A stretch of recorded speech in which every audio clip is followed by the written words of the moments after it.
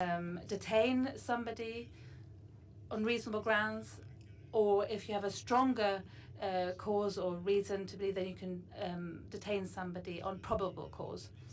Now, then the police then carries out an investigation, and thereafter you oh, I if I'm going to prosecute, then I have to then look at this with objective grounds and see that we can prove our case and that there's sufficient reason to prosecute, to issue proceedings, and then it's the court that decides on the issue of guilt.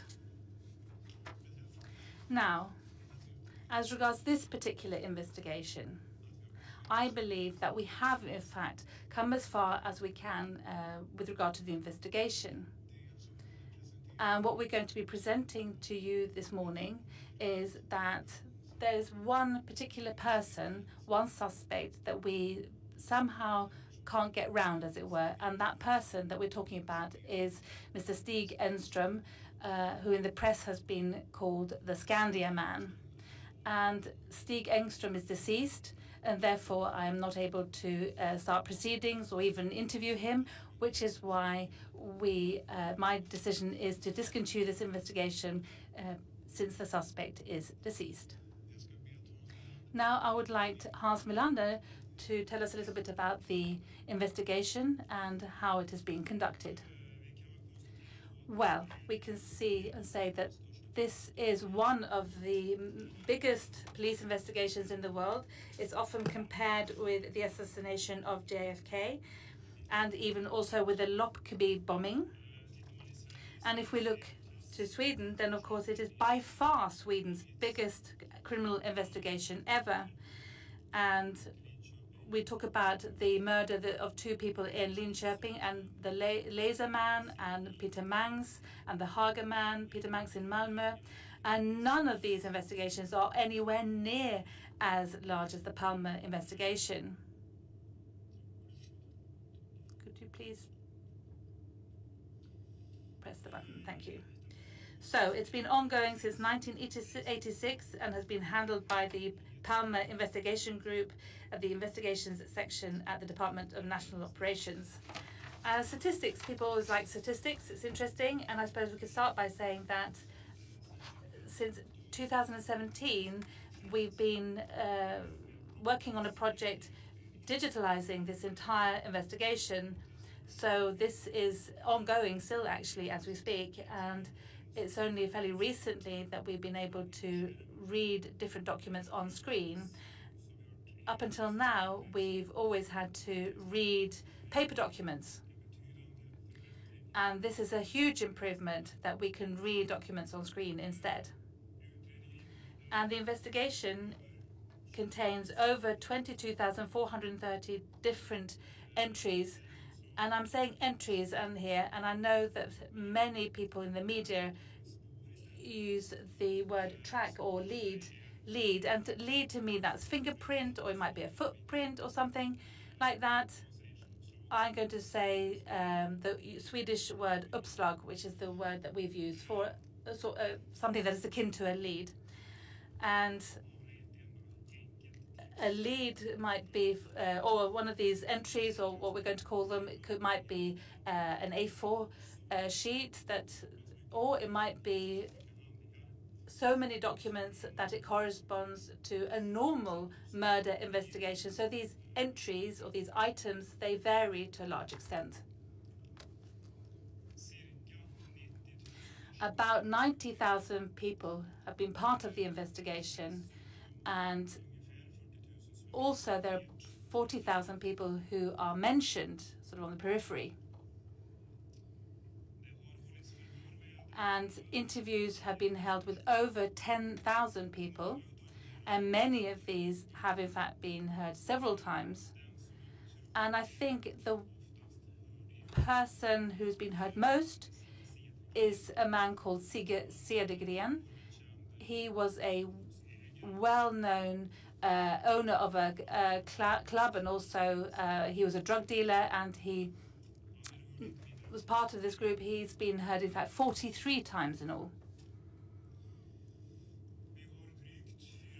And There are about just over uh, 4,000 vehicles included in this investigation, 134 people who have confessed to the assassination, and of these, uh, 29 uh, have confessed directly to the police, and the others have confessed to another person who, in turn, has then contacted us and told us about it. Now, if we look at the issue of the weapon, this is, of course, a central, uh, interesting part of the investigation. Now, two bullets were found on the road Sveavägen after the assassination. First, on the 1st of March, on the western part of Sveavägen, and this was a bullet which probably was the one that hurt uh, and injured Lisbeth Palme.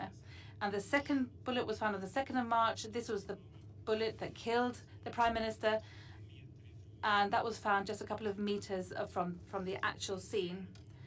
And the bullets are Winchester bullets, metal piercing uh, Winchester bullets, caliber 357 Magnum. And when you say 357 Magnum, then of course it's you kind of think that we're talking about strong, big bullets, but we're not talking about that at all. Actually, there's in Sweden, for example, it's about nine millimeters actually, and that's the size that is used uh, for a usual uh, rifle in Sweden. Or uh, I think that slightly longer and in fact has more gunpowder in it, uh, stronger charging, which is why the ammunition is stronger. And moreover, the bullets are made of lead with uh, copper as well. And as you can hear from the name, they are to a certain extent um, metal. Uh, the metal piercing have a metal piercing, and that tells us how thick the metal is. Unfortunately, there are very few uh, tracks on the on the uh, bullets, and also because they have been hit the building and the street. Um, they've also been damaged to a certain extent. And the bullets have been examined by the SKL, the forensic laboratory in Stockholm, and they've been examined by uh, Bundeskriminalamt in Germany as well, and they've also been to the FBI in the United States as well. And there are so few tracks on them that there is not much to, you can't say uh, even that they've been shot using the same gun. However, there's no doubt that these are the bullets in question that have murdered and injured the couple because the uh, the lead isotope composition is the same in both of these when it comes to the lead residue on their clothes, both on their clothes and actually on the bullets. So they haven't been put there or been exchanged for anything else. These are the bullets that were used. And the bullets have uh, tracks after the uh, from from from the gun, and um, that leads us to assume a number of different types of guns that we used that might have been used, and the most common is the Smith and Wesson. Uh, earlier, we had a list of seven different uh, makers. We had Smith and uh, Wesson, Taurus, Llama, Ruby, Escadine, and Casnar. But more recently, NFC, the National Forensic Center, has looked more closely at this and arrived at two further uh, makers, and it's it's Konan and Ruger. And Konan, we don't think that that comes into question because there are no empty uh, shells on the site, and there is nothing that tells us that the the um, perpetrator or anybody else has picked up any empty shells. Also, there is information telling us that we that this that the weapon was in fact a revolver. And if we then take take a look at the length of the pipe, then that is, in all probability, we're talking about something which is four inches long, that i.e. about 10 centimeters long. And the reason why we say that is that the bullets that have been in this uh, shot from a, a, a shorter gun, they show uh, a different, there are different aspects of the back of the bullet, uh, base extension. And this is a phenomenon that we see when the powder sort of goes forward into the, the front of the, the, the gun and is propelled and the pressure is so great from behind, so it sort of mushrooms, as it were, becomes all, and we can't see any signs of that on the bullets. So therefore, we can say that it must have been at least four inches in length.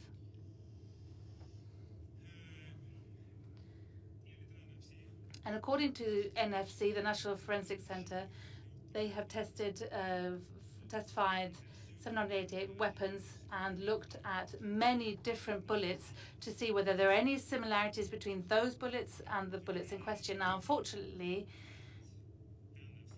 NFC are now saying uh, that it would be very difficult, if impossible, to link a weapon, an actual weapon, to the bullets. Bearing in mind that the, the tracks on the bullets are, are there are few, they've been damaged, and also bearing in mind what's happened with the gun during the time from then to now, um, it might be that the weapon might uh, give rise to completely different traces on the bullets today than they did in 1986, which is why they don't think that it's possible to link a, a weapon to the bullets in question, unfortunately.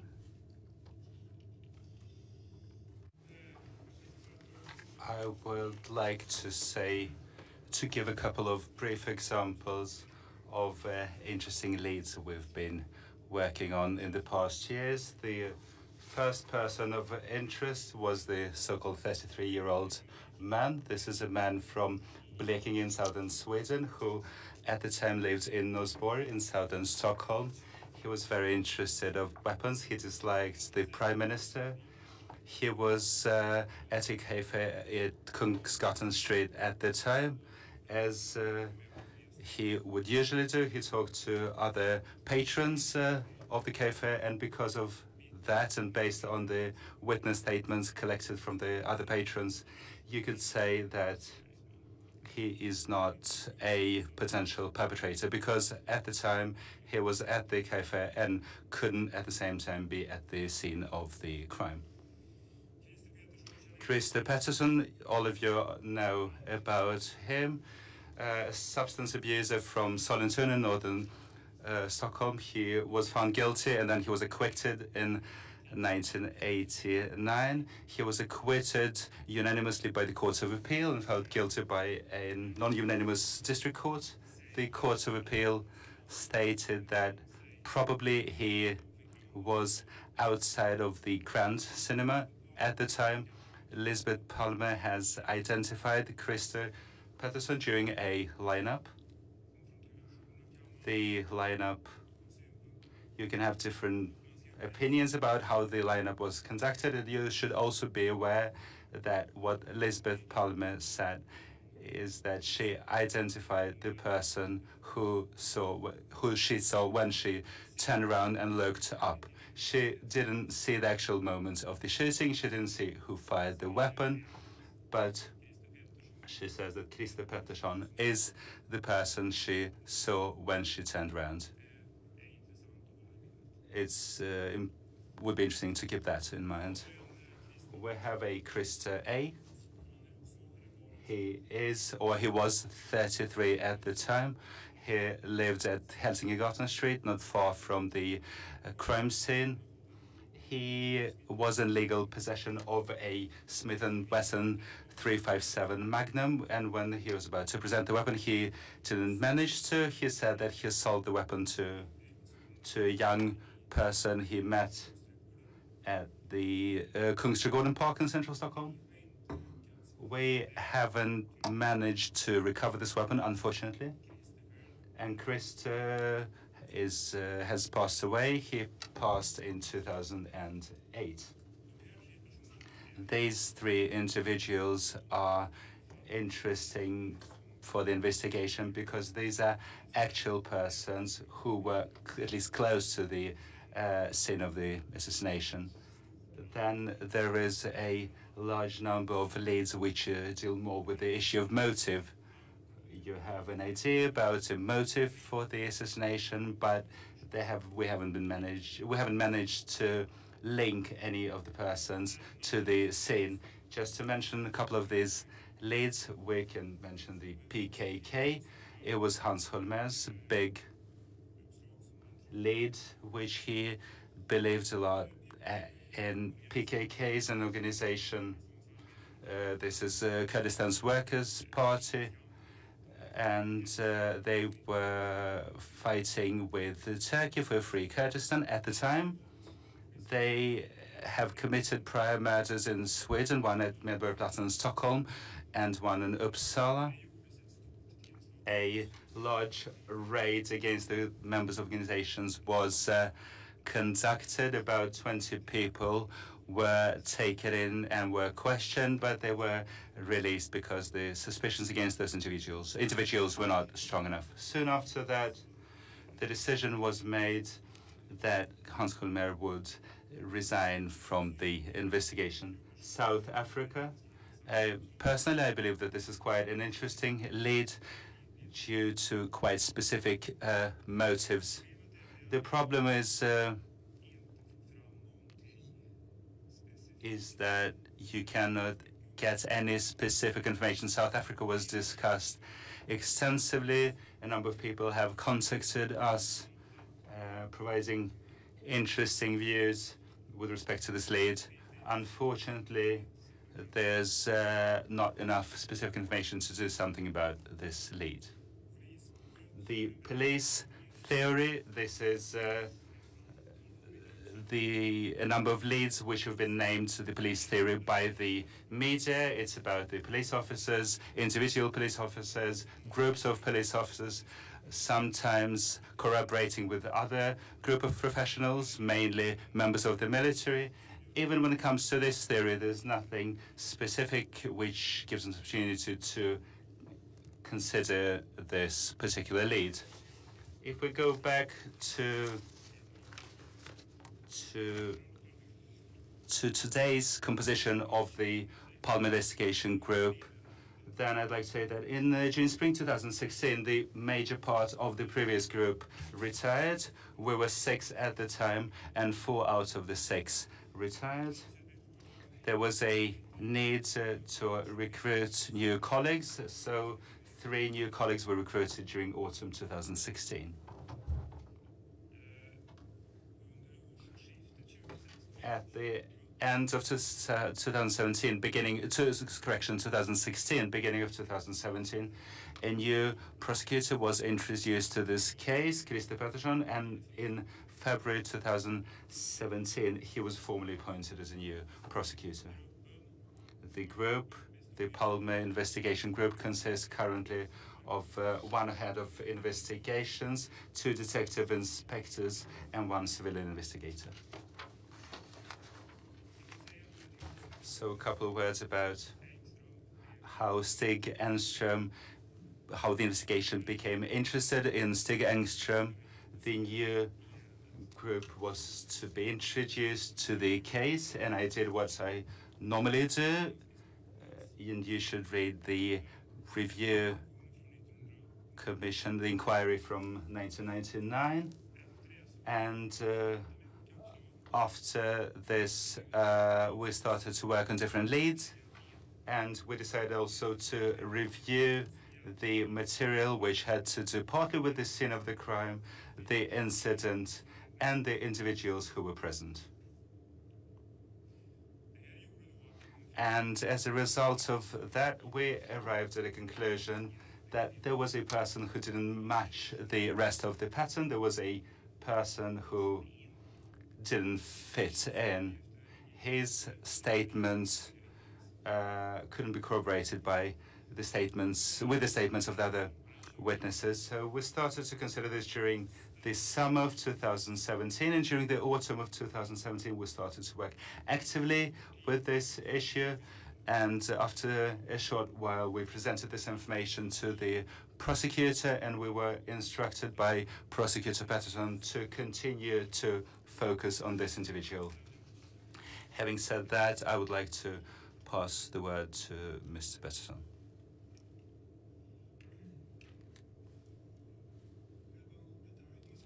The assassination, there have been a lot of discussions about whether the person who we believe to who was involved in this, whether he acted by himself or whether this was part of a conspiracy. And we have spent a lot of time trying to map other groups, persons, and uh, events in the time prior to this nation to trying to find traces of a conspiracy.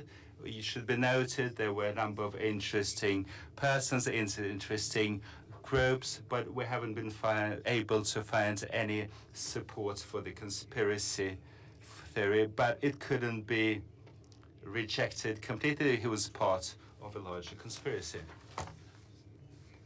Just like Hans mentioned initially, this small Palme group uh, the Palme group wasn't as small as it has been recently. A large number of uh, policemen was involved from the start.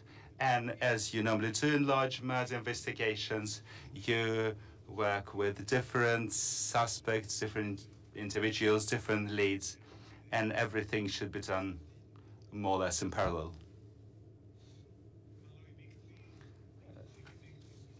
Different theories were given different degrees of uh, importance, and therefore the valuation of the witness statements were was done differently compared to how we would have done this today, or maybe some of the statements of the people who uh, claimed that they were at the scene, their statements were not assessed at all.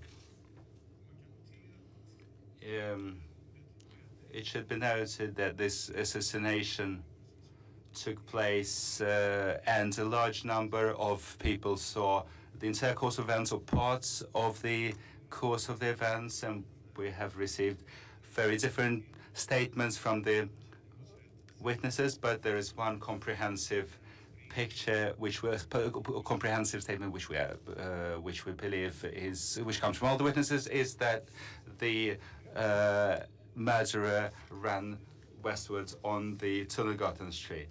The description of the assassin has uh, varied based uh, over time and also uh, between the statements of the different witnesses. Very few, if uh, anyone at least, saw the face and could provide a description of the face of the uh, assassin, but uh, some of the people have written comments on how the alleged perpetrator was dressed. What has made the investigation more difficult for us is that more than 34 years have passed since the uh, assassination, and uh, people, a number of people are maybe no longer with us, or maybe they're very old. Oral evidence which uh, it doesn't improve over time. This is something which should be served fresh, and as Hans said, we hoped to to get uh, clear indications from the NFC, National Forensic Center, but the NFC says that based on today's technology, possibly it won't be possible to tie a weapon to the murder scene. So therefore, what we have to work with is more or less the same forensic evidence as the evidence which was secured at the time, at the time of the assassination.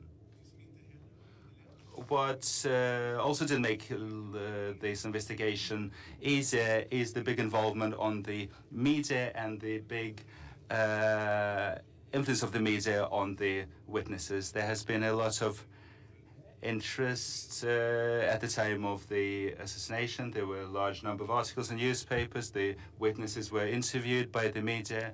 Photos of the witnesses were published, and uh, their statements were uh, reported in the uh, newspapers. And we noticed that the statements given by the witnesses would vary a lot between the initial interviews and what has happened later once they have uh, read what the other people have said and once they've seen photos of the people at the scene. So this is something which made our investigation work more difficult. So when it comes to the conclusion with respect to the perpetrator, I've been, I have mentioned the standards of proof and the prosecutor is not a court and it should be noted that the forensic evidence will not provide us with any assistance from the way it looks like, but it's the way it is. The forensic evidence is what we have here, so therefore we have to assess what happened at the time based on the existing materials. So if we go specifically to the information given about the man on the run or the perpetrator as we claim, it should be noted that several of the witnesses who interviewed initially and also later, they mention a person who was wearing a longer jacket or a coat. And uh, this uh, came more or less from all the witnesses. This was a longer jacket. At least the jacket, the length of the jacket was below the waist and this was a winter night. And then the information about whether this person was wearing a headgear, this information has varied between the witnesses. Some some people said that he had bare head, some, some said that he had a knitted cap, some said that he was wearing a cap. Some of the witnesses uh, have become very important to this investigation but maybe uh, the atten attention paid to them wasn't as great as their statements uh, actually deemed. There was a Mr. Lars Jeppsson who was at the Tunnelgatan Street, at the intersection of Tunnelgatan Street, Luntmakargatan. I'll go through his statement later, but unfortunately, the description of the person he sees running past him on Tunnelgatan Street is a bit vague. Uh, one thing he was sure of, though, and that is that the man who ran away, that he did, he was wearing a cap, in fact. Another witness, which was very interesting, is Yvonne Nieminen. She was at the top there on Brunkebergs Ridge, on David Bagares Gata, the street. She also talks about a person that she meets dressed in a longer uh, coat with a smaller bag as well. And I'll say more about Nieminen later because this is also central to the investigation.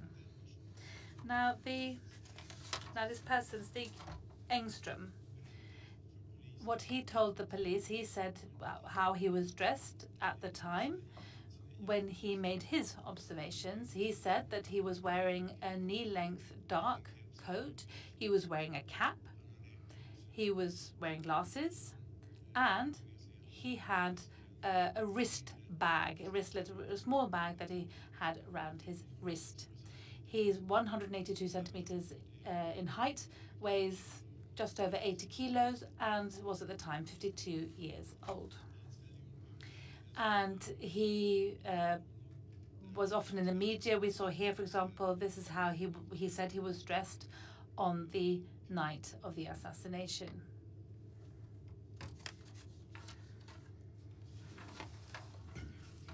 So, what he tells us about uh, how he was dressed does in fact correspond uh, uh, with many of the information, much of the information provided by the the witnesses, the coat, the cap, and also the small wrist bag that Yvonne Nieminen mentioned.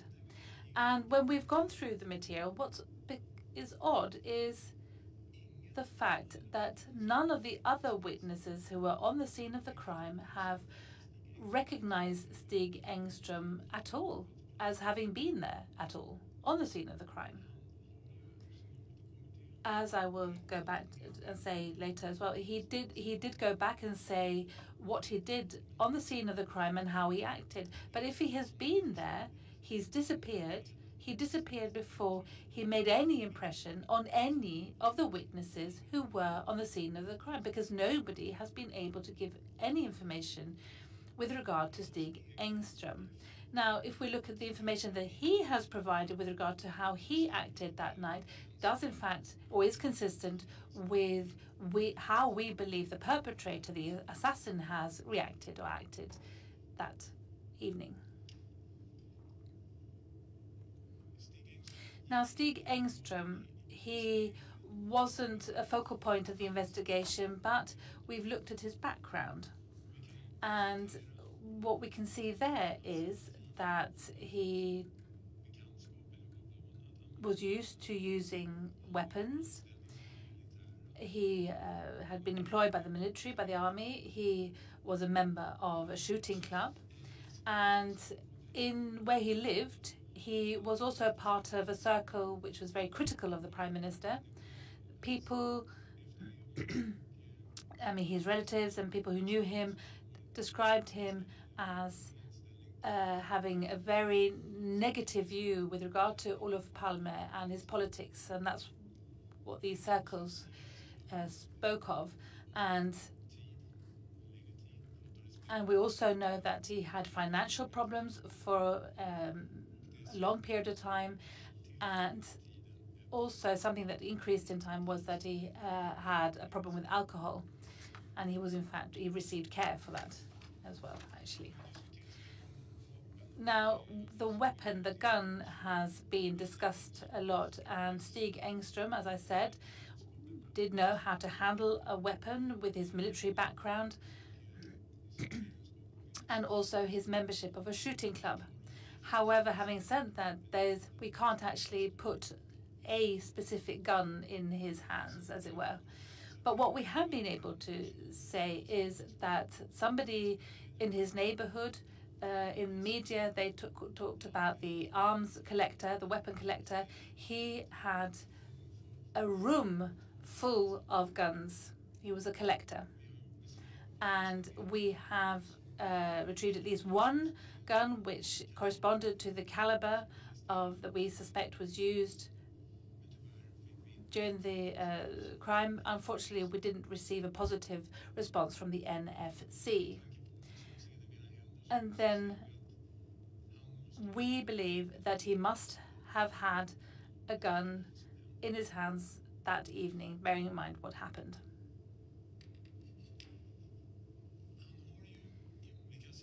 In different contexts and not perhaps in detail, but in many words, he's told many people about his what he did that actual evening. And and according to them, he was working late. It was a Friday evening, and he was working very hard. He was at his office all evening, and he didn't go out at all. However, there is information in the investigation, security guards working in the Skandia building saying that he, in fact, left. He went out, he left the building uh, during the evening. But what's unclear is we don't know exactly when he came back to the Skandia building. But he did leave between, and, and uh, he did come back between 8 and 9 in the evening. Now, this isn't that something he hasn't told the police about. He has always said and claimed that he was in, in his office the whole evening. The following day, on the Saturday, according to the plan, was that he was going to go skiing with his wife, and therefore he had to work late. He had to finish, complete certain tasks at work. Uh, according to the information that he provided, he closed his office door at a quarter past 11. So he was working on the first floor of the Skandia building. He walked down the stairs and he said a few words to the security guard in reception and then left the building. Now, according to the technology that they had, that he had in fact a, a card that he used and you can see that that badge or pass was used at 2320. Uh, unfortunately, the, the punch clock, uh, the clock there was wrong. Uh, it was in fact running fast, so it, was, it was in fact 2319 when he left. And so he left the Skandia building um, via Sveavägen number 44. Now, the assassination occurred at 23:21:30, roughly. Now, Stig Engström told the police, and has always said uh, even later, that he was going to take the underground to Mörby Centrum. He was going to take the uh, underground from T Centralen in the center of town, and the last train towards Mörby Centrum left at 2348. Now, in my view, he had therefore ample time to get to T Centralen and to take the underground towards Mörby Centrum. But he said that he was in a hurry. He felt that he was in a hurry and that he, I mean, he had to get that train and he was um, in a hurry. And it's a bit unclear what happens actually when Stig Engström uh, left Sveavägen 44. So either he does as he said he did, is that he goes left, turns left, goes southwards, walking towards the scene of the crime, or he then was going to go in the other direction to Odenplan and take the night bus instead. That means that he would have met and seen uh, the couple and then decided to commit the crime. But now, 34 years later, we cannot establish more exactly the exact route that he took. However, that he saw the couple at some point on Sveavägen is something that we believe is true, and that he um, was carrying a gun. Uh, this is also something that we've spoken about uh, as well, and we can't say more about that. Uh, as I said, he was in a hurry, and he therefore wanted to see how much time he had to get to T-Centralen. And he has said very clearly that he had a, a watch with a black face, and that's how he described it. And with the black face, it was very difficult to see in the dark that evening. So that's why he sort of uh, walked towards the building itself on Sveavägen. Uh, there was a shop window, and there he could see what the time was. And he was so concentrated on this that he didn't notice uh, the Prime Minister and his wife, who were walking. I mean, they were walking along Sveavägen, and nor did he see that they were shot. He didn't hear the shots, he didn't see anything, he didn't see that they were shot at. And according to what he has said, it was only when he almost stumbled on Olof Palme, who was lying on the ground, that something, that's, it was only then that he realized that something had happened. He didn't become aware of the fact that he was shot. Immediately he thought that it was something else. But it was only then that he noticed and realized that something had happened there on the street. And he also says, or said that he, that one of the first people to, or that he was one of the first to, to be on the scene and to give him first aid. Uh, there were other people who, in fact, who were there first, who were going to give who were going to give first aid, and they and this does not, in fact, is not consistent with what we've been able to establish with regard to the witness in question. Now, he also mentions something very interesting, and that was when he arrived at the scene, he then looked uh, eastwards along Tunnelgatan, the street, and there he says that he saw a person standing in an intersection with Luntmakargatan, the building there. And what he saw was a, a man who he thought was in his 20s wearing a dark blue jacket. Uh, and he saw him just for a couple of seconds before he disappeared. I, this man on Luntmakargatan. And Stig Engström says that he spoke to Mrs. Palme and this is varied a bit, actually, what he said. We don't quite know uh, what he said, whether he made, whether he saw the man in the jacket before he spoke to her or after. But he says that he spoke to uh, Mrs. Palme on the scene. And also that she gave him a description of the perpetrator. And the description that she gave him was that the perpetrator was wearing a quilted jacket, a blue jacket. And as far as we know, and we've really been through this very carefully, Mrs. Palme has never said anything about her speaking to a civilian, i.e., somebody who wasn't a police officer, on the scene of the crime, and has absolutely not left a description of the perpetrator. Uh, that she has spoken to people, uh, etc. That was that she wanted people to help her with her her husband who had been shot.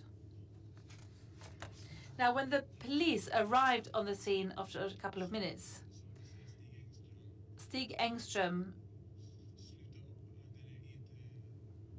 said that he stopped giving first aid and uh, instead he stood up and showed the police uh, where the perpetrator or suspect, suspect disappeared and he pointed towards Tunnelgatan and said to the police that that is where the man ran towards. And here we've also tried to look at this and, and see whether there is anybody who has acted in this way on the scene next to Olof Palme. No police officer has been able to confirm this at all. Moreover, there are other witnesses who have said that they have separately told the police about where the man ran and they were not Stig Engström. These were different witnesses.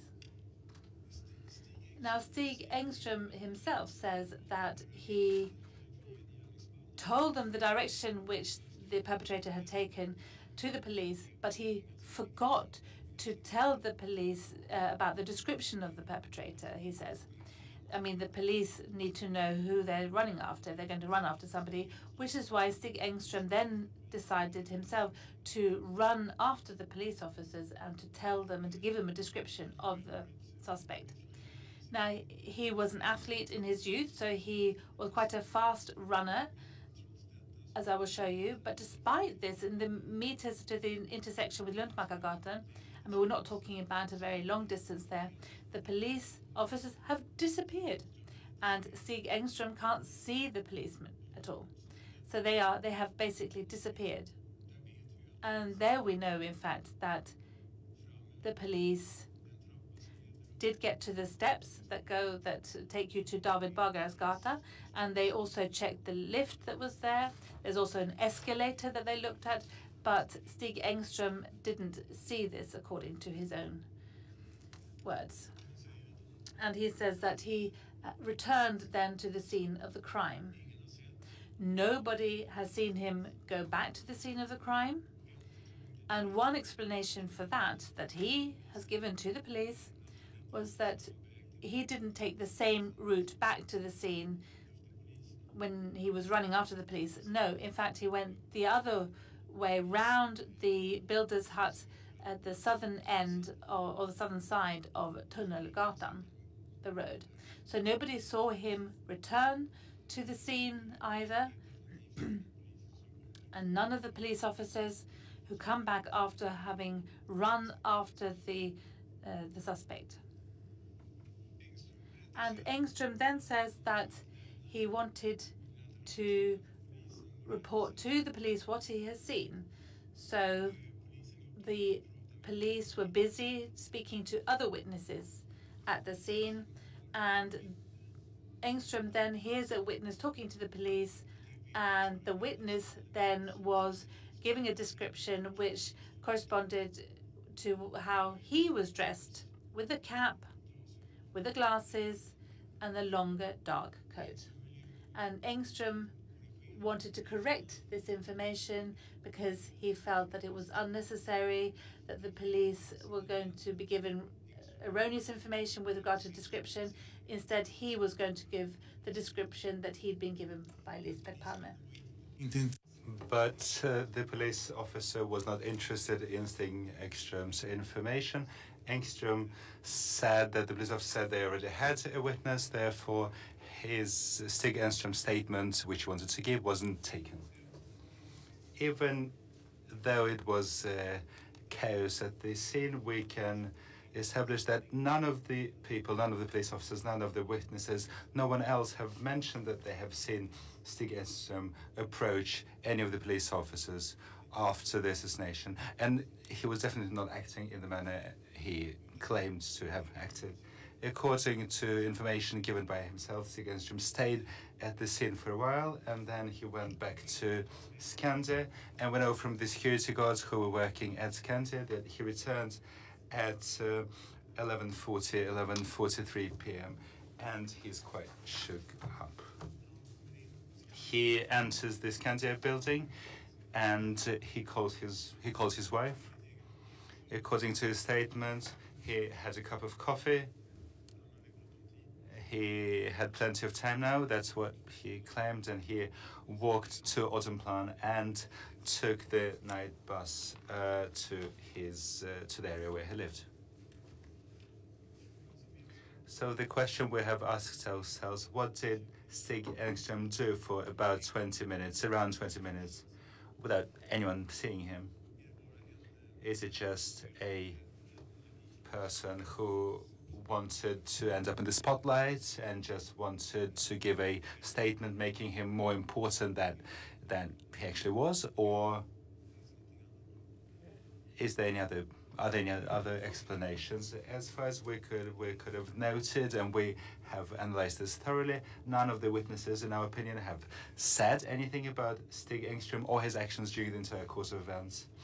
And additionally, I'd like to come back to the way he was dressed, as he stated himself, with the long coat, the cap, the wrist bag, and the glasses.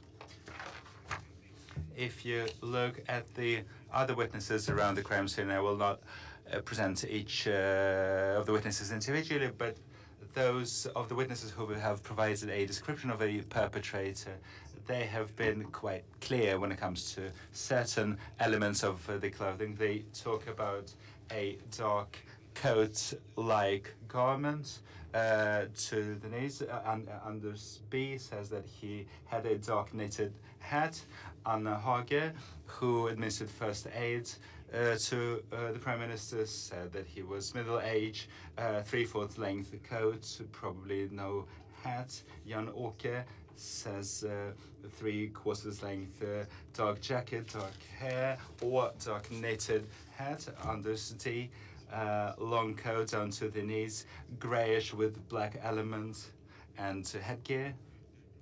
Uh, someone else mentions a dark or dark blue knitted uh, cap and a dark coat-like garment uh, reaching to the knees, a dark uh, long coat to the knees, dark coat to the knees, not certain about the headgear. one is certain that there was no headgear, but this, there was an overcoat which didn't quite reach to the down to the knees, long, uh, dark, long, loosely hanging coat. Inge Morelius, dark coat, longer than the jacket, dark uh, hat, half long coat, dark. The witness couldn't say where this was a man or a woman she observed. Uh, dark hair, dark uh, trousers, dark jacket, something dark on the head. What I'm saying is that if you read and analyze the statements of the witnesses, a lot of this indicates that the person who was running away, who should have been the perpetrator, there are reasons to believe that this was a man dressed in a coat, and this was a man dressed in a dark coat. Lars Jeppsson, the witness, was uh, of particular importance to the investigation. He is a central uh, character in the investigation. Earlier during the same night, he was uh, at an establishment to, to, to listen to music, and then he walked along Luntmakargatan Street, which is uh, the street parallel to Sveavägen, and he came to the intersection of Tunnelgatan Street. He was thinking whether he would uh, attend a nightly uh, a night op- a cinema opened at night, and he was along a builder's hut, which was uh, there at Tunnelgatan. So he couldn't see immediately what was happening at the crime scene, but he heard a noise which he was difficult to place, and he turned around and had a look and saw how a person uh, was falling to the ground, and might claim that this person was the prime minister. Soon afterwards, uh, Lars Jeppsson heard steps approaching on Tunnelgatan. Someone ran by him on Tunnelgatan Street in the direction of the steps, which are at the end of Tunnelgatan. Uh, Lars Jeppsson is still hidden alongside the builder's hut. So he was at, if you look at this sketch, there is a builder's hut indicated, so he was hiding by the edge of the hut and he saw the man running by along to the Gotton, and the man disappeared up the steps in the direction of the David Bagares Gata street. When he's about to leave and see where the running man uh, disappeared, he went to the spot marked uh, with uh, highlighted in red. This is the intersection of Luntmakargatan Tunnelgatan, and he looked for the uh, man. Everything indicates that Lars Jeppsson saw the murderer running. Therefore, his uh, information about the description is very important, but unfortunately, Jeppsson, Lars Jeppsson wasn't able to make any good observation of this running person. But there was one thing he noticed, and this is something he, may, he maintained and he took for certain, is that the, the running man was wearing a cap. And uh, according to his own statement, Stig Engström was also wearing a cap during on the night in question. And once this running man who ran by uh, Lars Jeppsson and uh, came a bit up the steps, and this I claim that this is Stig Engström, only then Jep, uh, Lars Jeppsson dared to have a look. He went to the intersection of Tunnelgatan and. Jeppsson was uh, looking for the person running away, and he noted that the man who was running away, when he came to the top of the stairs at Tunnelgatan, he turned around and looked down and uh, noticed Lars Jeppsson.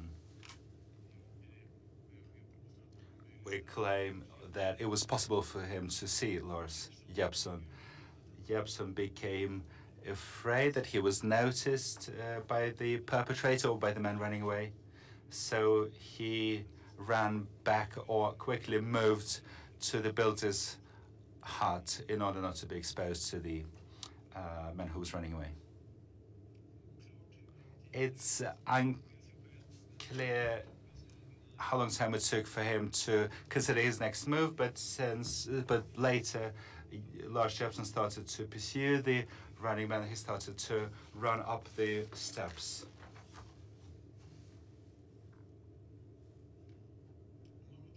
If we go back to Stig Engström's statement to the police and his statements he's made in other contexts, he said that he made an observation of a man in the intersection of Tunnelgatan, Luntmakargatan, a man dressed in a blue quilted um, jacket.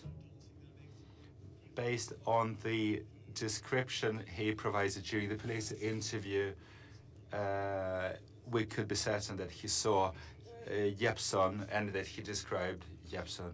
And he identified Jeppsson when photos of uh, Jeppsson were shown to him by the police.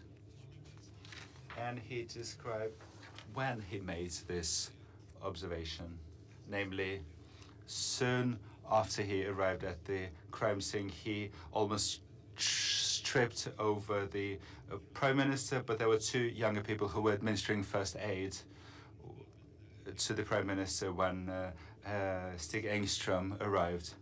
And he said that he talked to Lisbeth Palme and she provided him with a description of a man dressed in a blue quilted coat. So according to Engström's information, he made these observations of Lars Jeppsson quite early during the uh, chain of the events. But if the information given by Engström is correct, then by that time there must have been cars at the scene. The cars which dropped off the two younger people who were administering first aid, and these cars were parked on the Sveavägen road. And this is an important piece of informa information, in my opinion. Like we've mentioned earlier, Lisbeth Palme never mentioned that she talked to any civilian, and no one else has seen him at the crime scene. But if Engström's information is correct, that he saw this person at the intersection, then he must have been positioned somewhere. We've uh, uh, shown a sketch uh, earlier, but he must be somewhere along the yellow line, which you can see on this sketch. And we could imagine if uh, Engström wanted to make himself more important than he actually was at the time, that he was on the western side of the of Sveavägen Road, so on the other side of Sveavägen, making these observations and therefore this uh, piece of information is not credible, even probable, because according to his own statement, a lot of people must have approached by the time cars were parked on Sveavägen, which would block his view along the Tunnelgatan street. If he was standing at the crime scene and he would make the observations of Jeppsson, then based on common logic, he should have been seen, he should have been discovered by someone, but no one saw him at the crime scene acting the way he said he acted. So the only reasonable explanation uh, explanation the, of the fact that he saw Lars Jeppsson is that he was standing at the top of the steps. He looked down and he saw Lars Jeppsson at the intersection before Lars Jeppsson heads behind the builder's hut once again.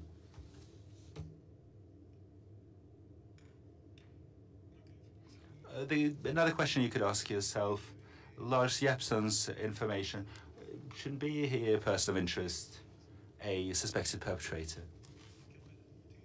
And uh, he was interviewed on several occasions by the police, and a couple of interviews were quite tough. It was difficult for the police to believe his uh, story, but he stuck to his statement.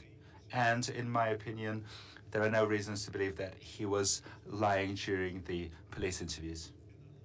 Another, uh, maybe more important, uh, issue is his height. He's 164 centimeters, uh, Lars Jeppsson, and this doesn't correspond to the description of the perpetrator by the witnesses and the aged parties who was supposed to be longer than uh, the Prime Minister who was taller than 170 centimeters. So in our opinion, Lars Jeppsson is a witness who was at the scene, but he doesn't match the description of a perpetrator. När Jeppsson now, when Jeppsson, according to his own story, ran after the man fleeing the scene of the crime, and when he had almost sort of got to the top of the stairs, he met a woman called Yvonne Nieminen. She's out walking with a male companion. And she said that just before that, she'd seen a man running along David Bagares gata, and Jeppsson then continued in that direction, hoping to catch up with the man who was running away, but couldn't see him and therefore stopped following him. He then tried to get in touch with the police and so therefore walked towards back towards the scene of the crime. Yvonne Nieminen has provided very interesting information but has unfortunately been very badly um, handled actually I must say uh, by the investigation. She wasn't heard in the uh, court either for the defense or for the prosecutor, in fact. Now, she had been to uh, an establishment on Johannesgatan together with her friend and was on the, they were on their way home and as they turned into David Bagares gata she observed a man running on the other side of the road on the pavement and we have to remember here, I mean, Yvonne Nieminen hadn't heard any shots at all, so she didn't know that anything had happened, but she made this observation which she was able to tell the police in interview. And in her interview, she says this is very soon after the assassination on the 2nd of March. She said that she met a man who was running along David Bagares gata and that this man had a small bag, uh, 20 uh, by uh, 15 centimeters in size, that he was trying to open or shut. And she reacted to the fact that he didn't stop and do what he was doing, but he was doing it whilst he was running. She says that he was wearing a dark coat, which sort of went part down the down the leg. It was open, unbuttoned, and was flapping in the wind. And it also looked as if he had a he had trouble running because it was slippery. There was a lot of slush, and he wasn't wearing good uh, shoes. Uh, so he was slipping basically, and she meant that the person who ran past her uh, was about 30, 40 years old and 174 to 178 centimeters in height. And this is something that she tells the police on the 2nd of March. So after midnight on the night of the assassination. So the question you can put there is who was dressed in a dark coat, who had a smaller bag with them, and came from an office job. And what I mean by that is that you perhaps don't have heavy boots on when you're working in office, you might have uh, lighter shoes, which would explain somebody slipping on a slushy pavement. And that person is, of course, Stig Engström.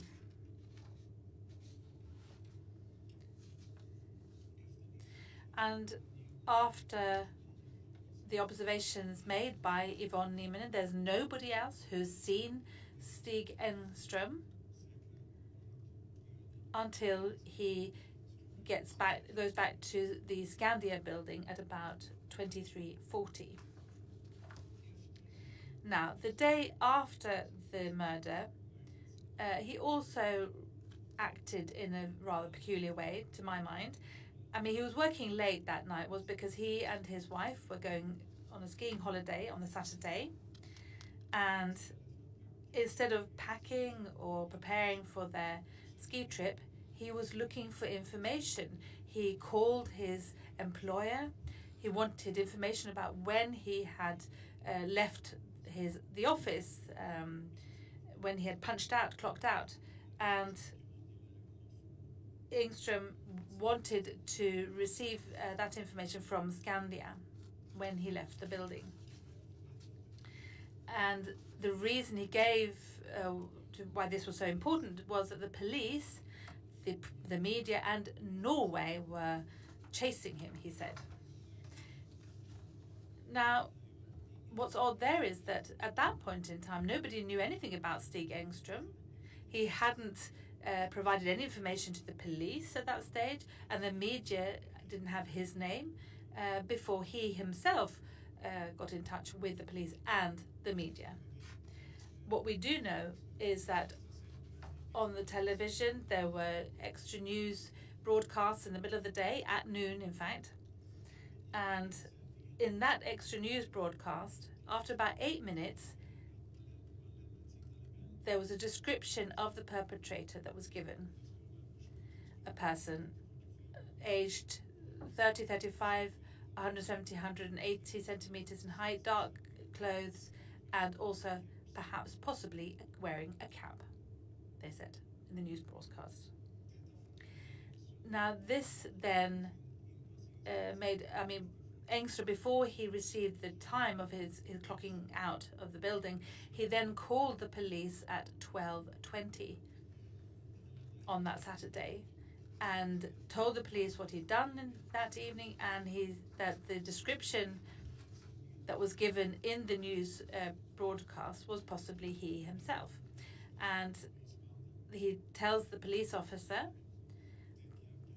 that there's this man in the blue jacket, i.e., Jeppsson, and also he says that Mrs. Palme also mentioned the man in the blue jacket.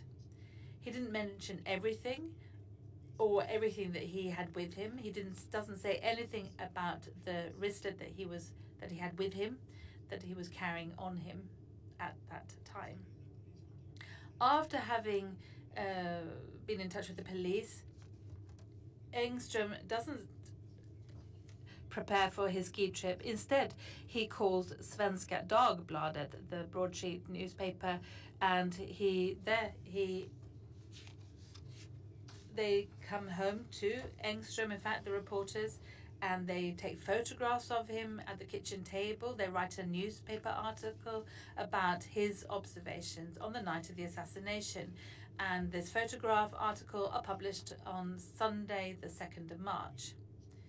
Now, if we if you somebody who are cynical or if you like conspiracies then of course this is a smart thing to sort of uh, say that here I am, show the information so that, you know, if you're pointed at later on in the investigation, you can always say that, well, you there's been media coverage of you and that that's why people point at you. Now, we've looked at this in detail, but Engström did leave on his ski trip on the Sunday, on the 2nd of March, and we haven't found any traces or anything that we can't see that he's take, been in touch with the police or the media, but the newspapers were, of course, full of information about the assassination, and amongst other things, this this bag, this small bag, is mentioned that Yvonne Nieminen mentioned, and also the man running uh, on the uh, Ridge at the top of the stairs, and Lars Jeppsson, how he was dressed, that's also described, and different witnesses are quoted, and how police cars how they arrived on the scene, in which order, and what measures they took. Not the police cars, obviously, but the police officers in the police cars. When Stig Engström then came home after his ski trip, there was a second interview with him. And this was well, the first interview was when he called himself. It was the se- the second one was also a telephone interview, and at that time he was able to describe the type of police cars that arrived and when they arrived on the scene, and he also mentioned to the police that he had a dark brown wrist bag with him. And so this new statement uh, was slightly different to his first. Um, so, and then the following day, a longer interview was conducted with him. We don't know whether it was via telephone or at the police, uh, but anyway, he gives the same statement. There are no follow up questions. They don't call into question the information that he uh, provides the police. So the police had a lot to do at the beginning of this investigation, and they decided to uh, perform a witness reconstruction with a number of witnesses who had been on the scene of the crime, and this was in fact conducted on the weekend of the 5th of April. Now, why? And we've tried to understand this, but we don't know why. But Stig Engström wasn't uh, invited to participate, and the reason for this we haven't been able to find, but we can just say that Stig Engström was not one of the witnesses uh, who was allowed to participate and to say what they had done uh, to the police. He used to, he had previously worked at Swedish Radio and had friends there, and they then um, gave him a contact to uh, Rapport, the the um, the news program, um, where they made their own reconstruction, which was recorded and then broadcast on the news. Ligger på Sveavägen, 50 meter från en plats. Skandia is 50 meters from where Olof Palme was assassinated. At 20 past 11 on the 28th of February, Stig Engström left his the office building to get the last tube home. He was in a hurry. And he checked his watch uh, to see whether he would get to the tube at time. At the same time, he had two shots. However, he wasn't able to get hold of the police and then returned to the scene of the crime. You may have seen Stig Engström on the site, the scene of the crime, and you may have thought he was the perpetrator. Well, no, I mean, at that time we didn't know that it was Olof Palme, so there wasn't much interest in this at that time. So I think that they were quite happy with uh, the witnesses that they already had. They weren't interested. No, no. Despite the fact that you wanted to say that you had been described as the assassin just a moment before, well, they said it wasn't interesting. They were very uninterested, actually, until the ambulance arrived just after and we found out who it was. And the following day, he read about the assassination in the newspapers and thought that he was being described there. And because this was the description of the perpetrator was consistent with what, what he was wearing, the the, the coat, the cap, the glasses, and he called the police to once again say that that there was there was a mix-up, but no to no avail. Well, they said that it was interesting, but presumably they didn't have time really to do anything about it at that time because there were so many people who were calling them. And today, there's several reconstructions have been performed. Entire blocks were um, closed off, and all the witnesses from the night of the assassination were called, but Stig Engström, who was the first on site, wasn't asked to participate. And he thinks that he could help the police because he is and works with advertising and is therefore very observant. Well, when you say that you're sort of trying to put jigsaw, a jigsaw puzzle together and trying to put pieces into this jigsaw puzzle, then of course you shouldn't, you know, take away uh, pieces of the jigsaw that you know belong to the the jigsaw puzzle. But perhaps they're not very good at at um, uh, putting jigsaw puzzles together. At the police. So my interpretation of this is that he's mocking the police in their work when he makes this statement.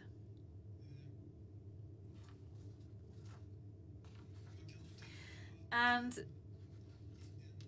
you can note that the in the Palme room, the investigation, there Stig Engström is in fact discussed on a number of occasions. On the 20th of April, for example, in 1986, they did discuss Stig Engström as a possible perpetrator. However, this was at a low level, as it were, and no special measures were taken an, another interview was conducted on the 25th of April with Stig Engström, uh, where Stig Engström can just is just allowed to uh, make his statement. He looks at photographs of people who were on the scene of the crime, and there was also information that uh, Stig Engström knew Lars uh, Jeppsson, and so there was a short telephone interview on the 25th of May to uh, look into that. And as far as we can see, that is the what um, with, regard to interviews, etc., with Engström. That's all that we can see. The investigation continued, and uh, during the autumn and early winter of uh, 86 and early winter 87. The police prepared Operation Alpha, what Hans Melander told about, the raid against the PKK and the Kurds.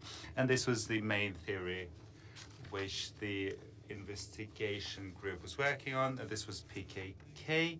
And in order to, to, to work on this theory, uh, fully there were it diplomatically, there were differences of opinion between the prosecutors and the police about how many people would be arrested and if people would be arrested or asked to come into taken for the interviews. And uh, there were uh, conclusions made that this was the right theory.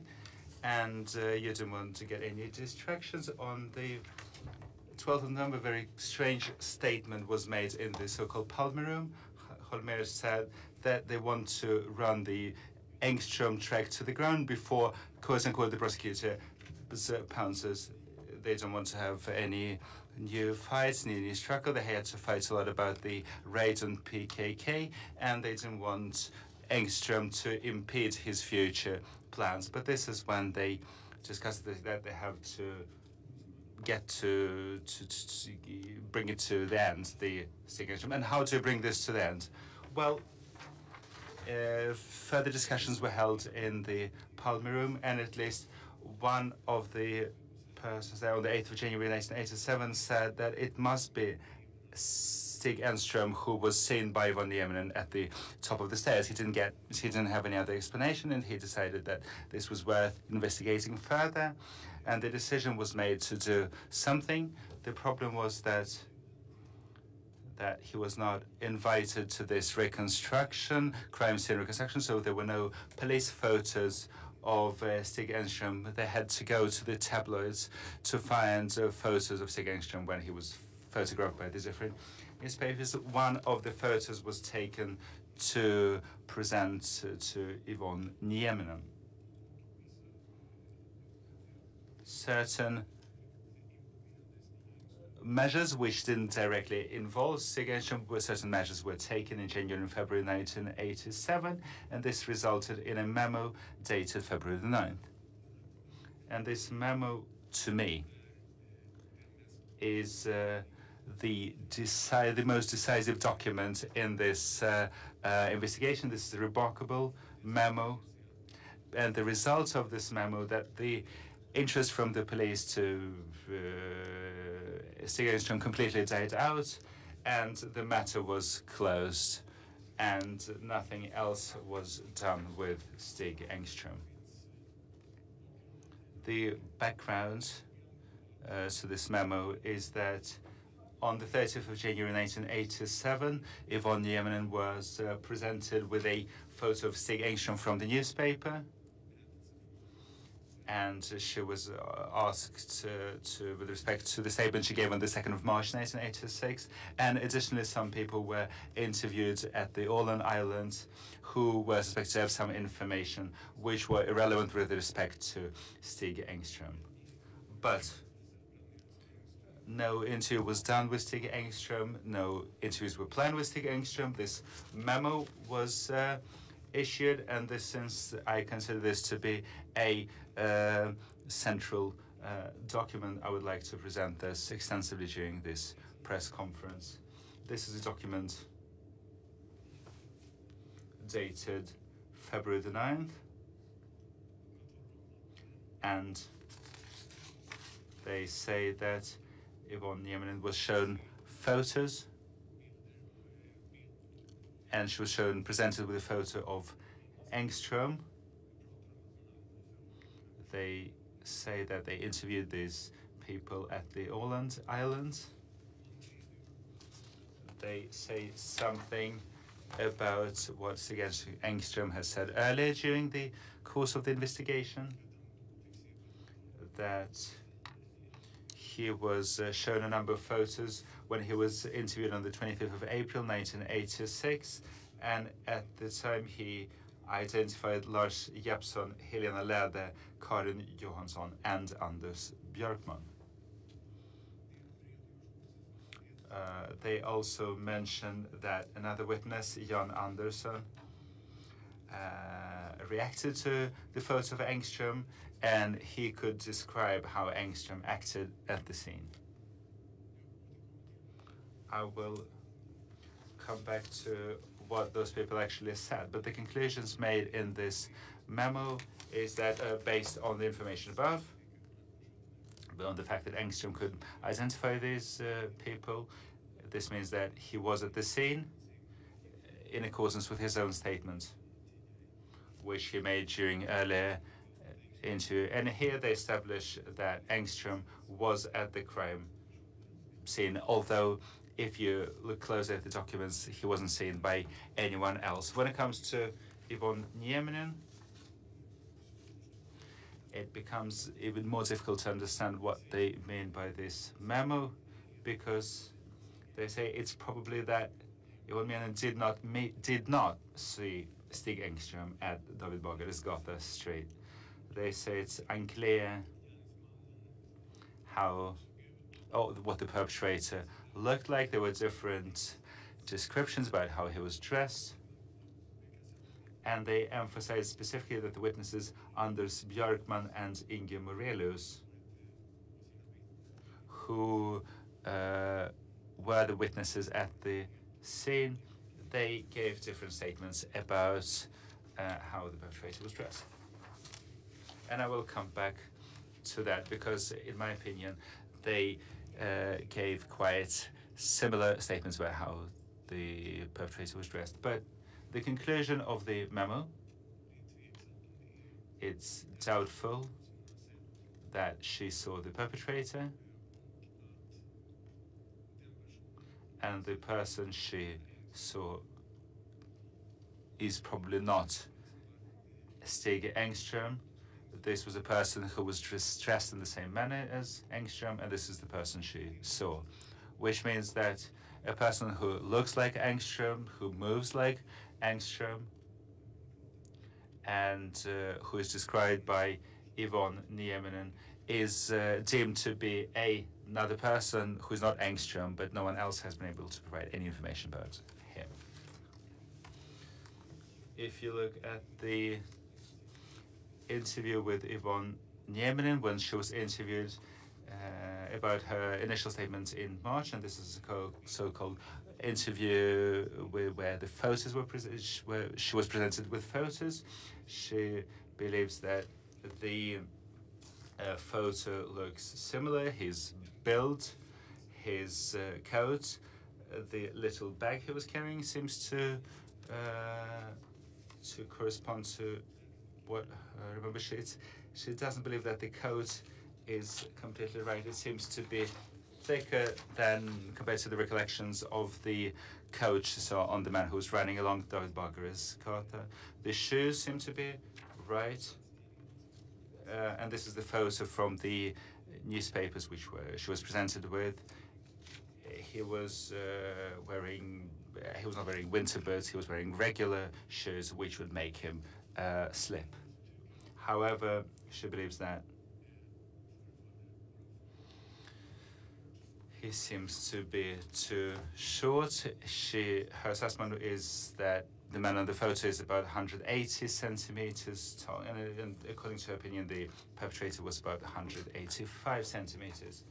Uh, it should be noted that during the first interview, uh, when she talked about the height of the perpetrator was 174 to 178, and Stig Engström was 180 centimeters uh, uh, tall. So she uh, strengthens or she expands on her information about the person she saw, uh, which is described in the interview from the 2nd of March. The other witnesses who saw the shooting, and this is Anders Björk, Björkman and Inge Morelius, and the claim in the memo was said that they have given different information about how the perpetrator was dressed. Björkman was interviewed on three occasions soon after the assassination and he talks about a longer longer coat. This is interview number one. In the interview number two, he has certain doubts. He's not certain whether the prime minister was dressed in a dark coat, but in the interview number three, he said that the perpetrator was wearing a longer coat. Inge Morelius, who was sitting in a car, on Sveavägen and he made his observation. He talked about a longer garment.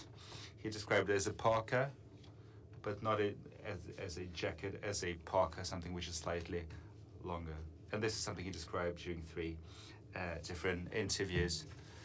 And the witness which uh, made observations of Stig Engström in the memory court in the, on the crime scene, according to the memo. This is a gentleman called Jan Andersson, who allegedly gave the information that it was he saw Stig Engström. And if you look at Jan Andersson's uh, statement during the police, if you you could ask yourself a question whether he describes Engström.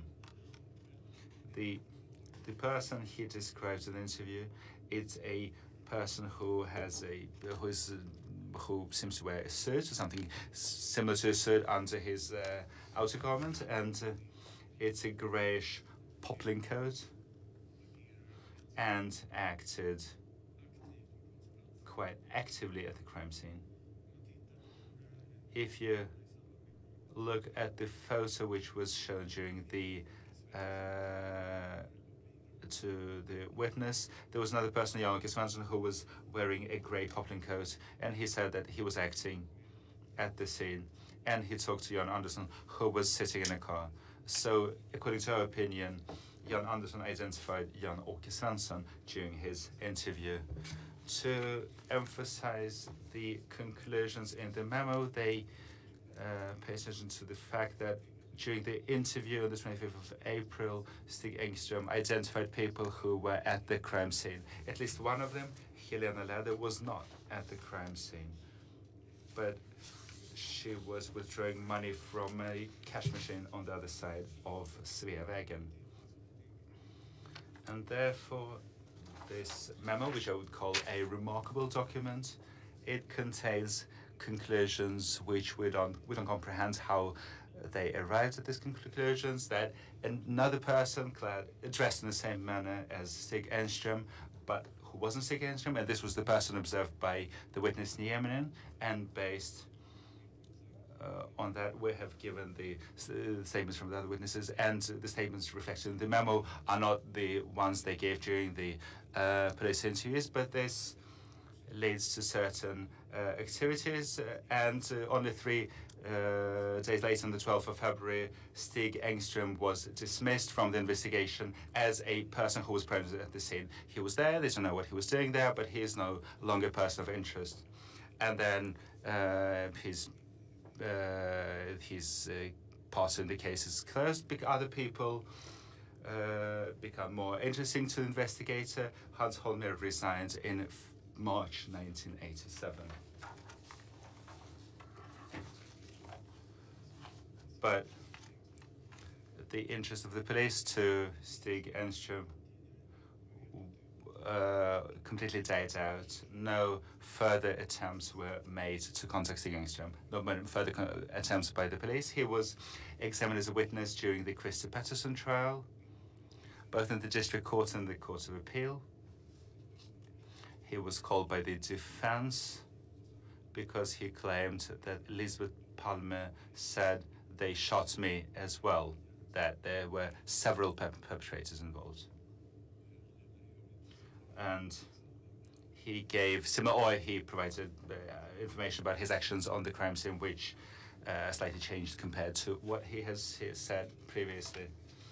He gave interviews to the media. He continues to be a person of interest to the. This is beginning of the 90s. He gave an interview to a newspaper, Proletarian, in 1991, and another uh, magazine which is which is a, for the security industry called och Säkerhet in 1992. And in this article, he describes a scenario where this is not an issue of a murder, but rather a question of a manslaughter, and uh, that the perpetrator was insulted by the prime minister, uh, after which the perpetrator lost his temper and committed, but he didn't uh, admit or didn't confess to any criminal acts. But he talks about what could have motivated the uh, perpetrator. Stig Engström passed away in the year 2000. He wasn't uh, interviewed again as part of this investigation, and therefore we haven't been able to to conduct any investigative measures with him.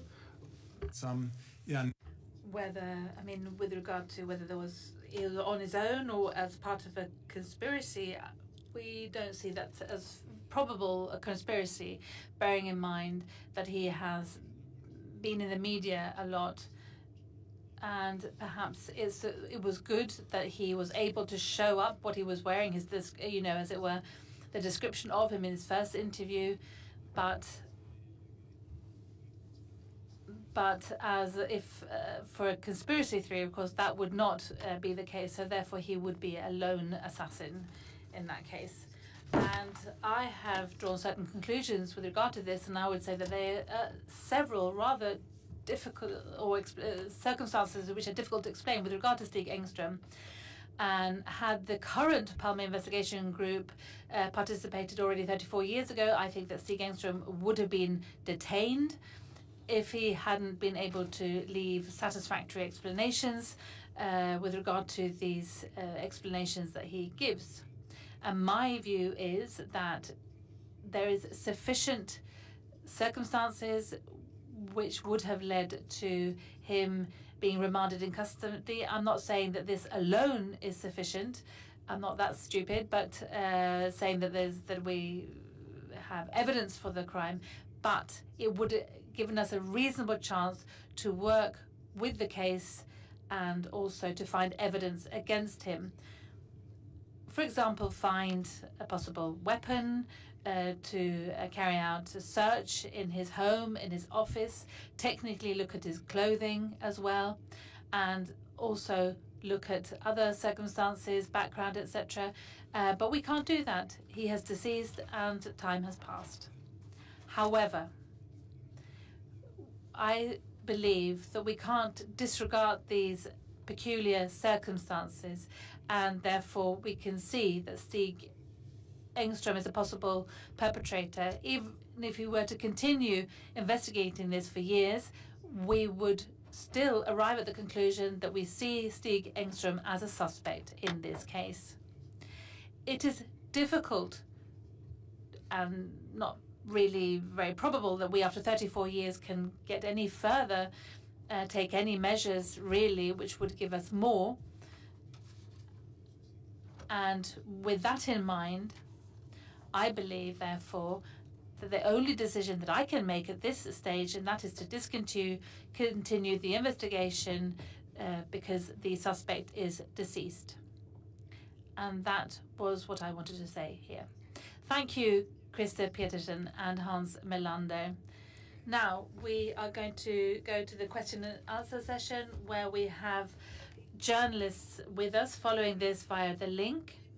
And there are many of you who want to ask questions, which is why we want you to be as brief as possible. So it's one question per person. So let's start with TT. Who do you want to put the question to. you. I want to put a question to prosecutor Krister Petersson. These are very serious uh, things that you're saying against a person who is not able to defend themselves at all. And you're doing that despite the fact that there's no weapon, there's no explanation as to how how he could have got hold of a weapon, and there will be no uh, court proceedings either. And prosecutors have, I mean, got it wrong before. Uh, so why should we believe you, you know, what you present to us today? Well, I've tried to explain what lies behind our reasoning, and that's been sufficient for us to feel that secure the why we're presenting this and and whether that convinces you or somebody else, of course, that is good. But that is not what we have. We, I aim, as it were, I mean, we feel safe and secure in the conclusions that we have drawn. Thank you, TT. Next, we have Dagens Nyheter, the newspaper. Question from Dagens Nyheter to Krister Petersson have you been in touch with the national prosecutor, uh, bearing, I mean, with regard to the perpetrator? I mean, do you agree with um, pointing out him as the perpetrator and also discontinuing the investigation? Well, in Sweden, uh, we as civil servants, we have we are fairly independent. I have naturally. Uh, I have perhaps not consulted with him, but I have in fact presented my conclusions uh, but I'm responsible for the, for this uh, as the uh, as leading the investigation. Thank you to DN, and now we go over to Sweden television, Swedish television, SVT, for the next question. Yes, my, question is to Hans Melander. There have been so many witness interviews with uh, regard to Stig Engström.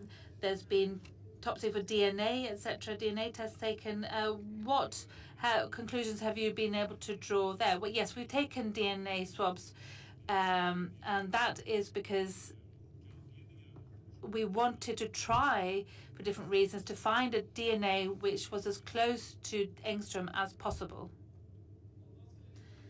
Oh, for for what reason? Well, there are parts of the investigation which where we have not been able to link these to a specific person, but which might be interesting from a per perpetrator perspective. So we wanted to test his DNA and compared, compare it with those objects. Thank you then to SVT. And next we have TV4 is the next person to put a question.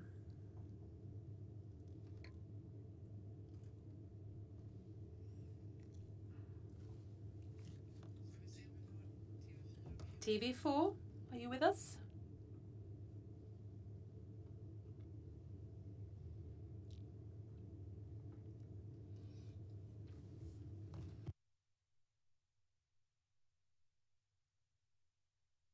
Ah, there you are. Yes, we're back. Thank you. Yes, I apologize.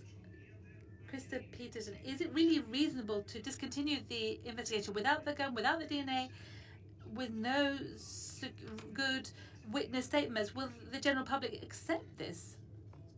Well, as Hans Melander has already said, we have in fact uh, turned to the National Forensic Center and they have explained that they would not be able to, I mean, even if we did have the right gun and the right bullets, we might not be able to link the two to and to the crime scene, uh, which is why the witness statements are very important to us. And as I said, we we are uh, sure of the conclusions that we've drawn with regard to the information in there. And the technical investigations, it can't help us at this stage which is why you have to look at other information instead. Thank you. Next, then, is uh, Swedish Radio. Yes. Hello. Um, Krister Petersson, how have you, I mean, have you investigated whether there's been any accomplice at all? Well, what I can say there is that what we have done uh, with the help of Säpo or the security police, we work closely with them and we've also interviewed a number of people who have been part of these circles and organizations that existed at that point in time and they there's of course uh, this aspect of confidentiality about people who've been participating or who participate in these groups, and we really tried to map out these people, find any contacts with Stig Engström, but we haven't found anything really that points to that being point, part of such a group or participated in such an organization or group. Thank you. And next we have uh, Aftonbladet newspaper. Yes, a question to Krister Petersson. You've said earlier to the SVT that we're going to solve this, and in February, you said that there is technical proof and evidence. Do you believe that this murder has been um, resolved, and what's the technical evidence that you were pointing at in February? Well, as Hans said, we have we discussed this uh, the matter of DNA, where we hoped that that would give us information, but we've come as far as we have been able to come when it comes to a suspect, and this is our solution, in that we can't get come further than this. There, So what I'm saying is that this is something that probably would have been uh, taken to court as a prosecutor. We can can't get any further than this. This is what we're presenting here now. Uh, next we have Swedish Svenska Dagbladet, the newspaper. Yes, Jonas Gummesson here. Now, my question is this whole presentation basically rests on old material, and as far as I've understood it, very little new uh, is included here.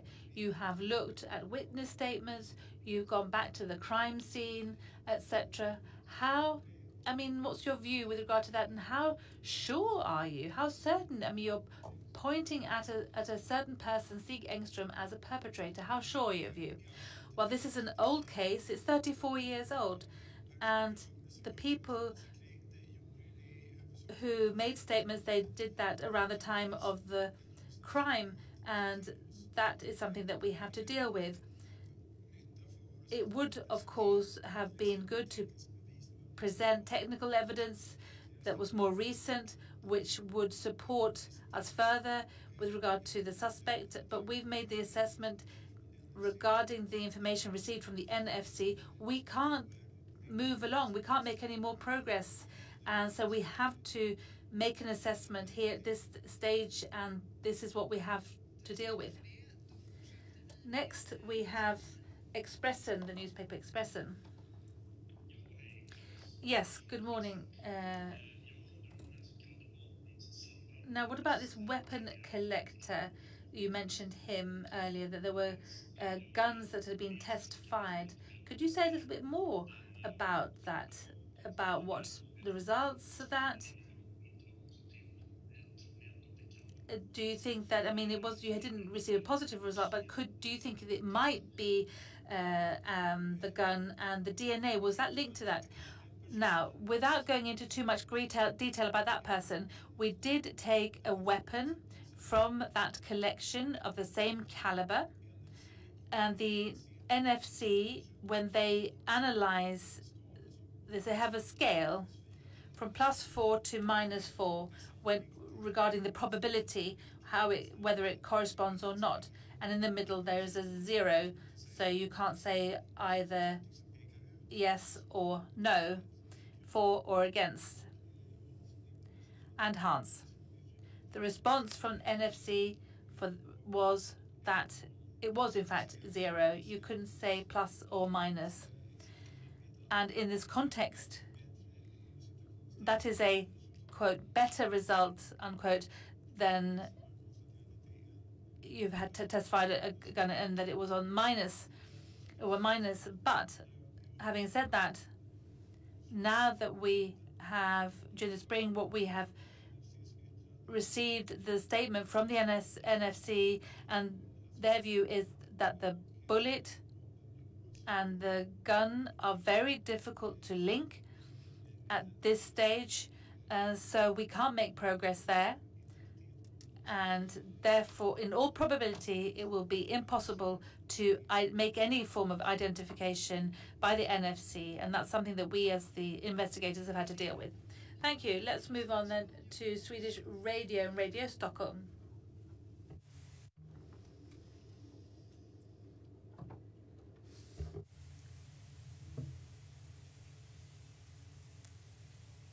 Ska vi se om vi har P4 Radio Stockholm. Let's see if P4 Radio Stockholm is still with us.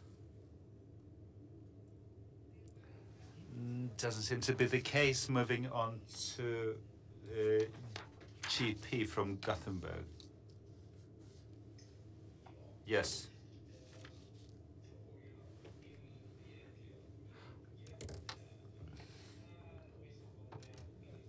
When and in which context did you actually feel that you can find a solution and you can present the solution you presented here today? From my, for me personally, this was, you cannot really say that, there was one isolated issue, but just like Hans said, once we reviewed the materials, once we got an understanding what people have said at the crime scene, then this memo, uh, for me at least, my opinion is that a woman identifies Stig Engström in quite a quite properly, but it wasn't used by the police. It just resulted in a decision to remove him from the investigation. And this is.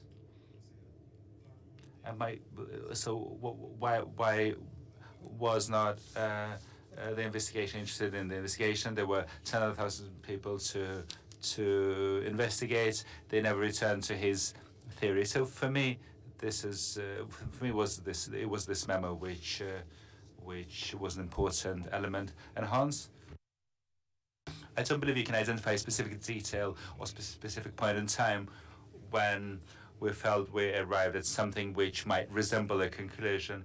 It's uh, rather a comprehensive assessment of the materials which have to do with Engström and all the circumstances making him stand out and uh, making him not fit the rest of the pattern.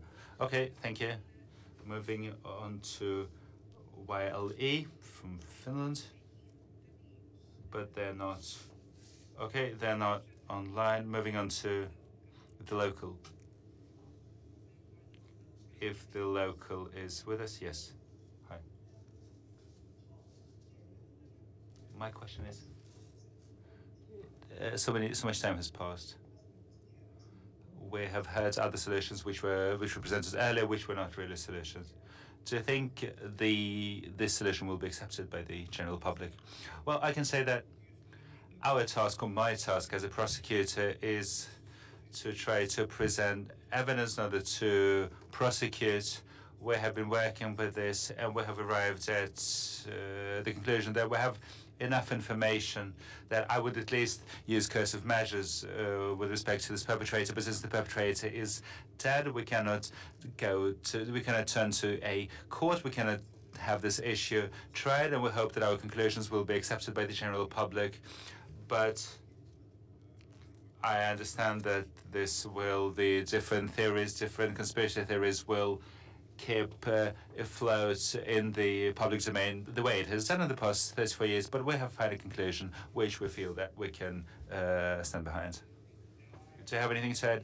Yes, I want to say I'm fully convinced that there are lots, lots of people who have other opinions different from ours and who are prone to believe in other solutions. But just like Krister said, these are our conclusions and this is what we believe in. Okay, thank you. We'll continue with etc. Hi. I have a question to Chris Peterson. Would this information been uh, sufficient to prosecute on this grounds if Engström would have been alive today?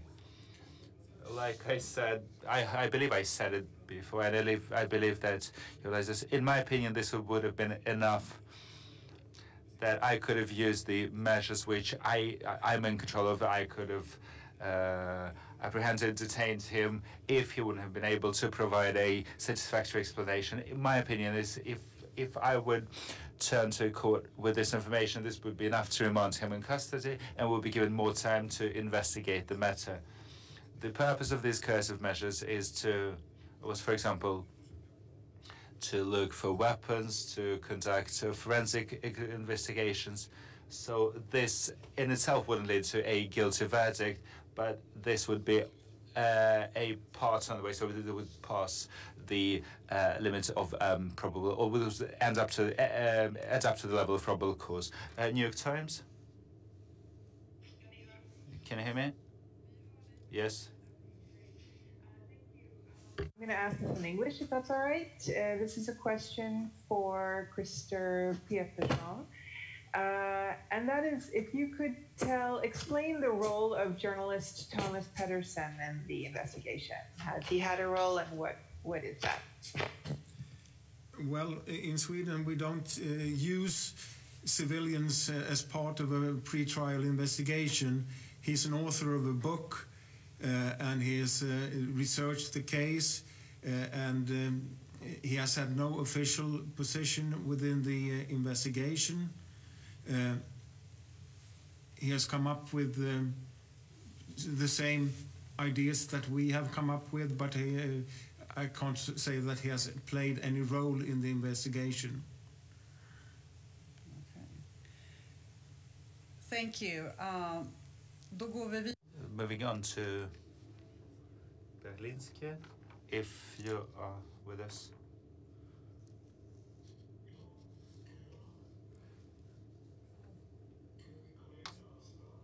Can I ask the question in Danish?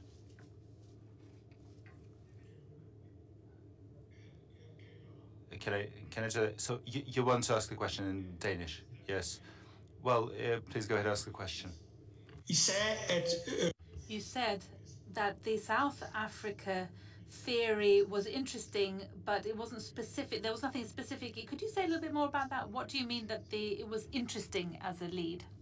Uh, now I No, well, I said that I believe that the motive is quite interesting in terms of the South African lead. It was uh, publicly known that Olof Palme opposed strongly the apartheid uh, regime, criticized uh, the events in South Africa openly. Uh, the what happened with the population there, but you could also say that this lead is not there's not a lot of specific information. It's more just an issue of a possible motive.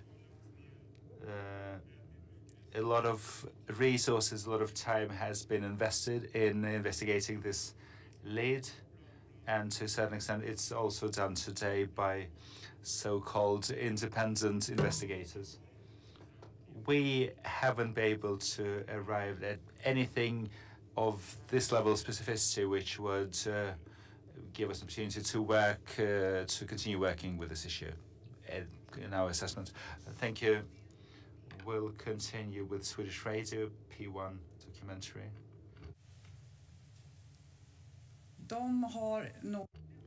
They probably left the meeting. English, I believe, Canadian Broadcasting. Is that correct?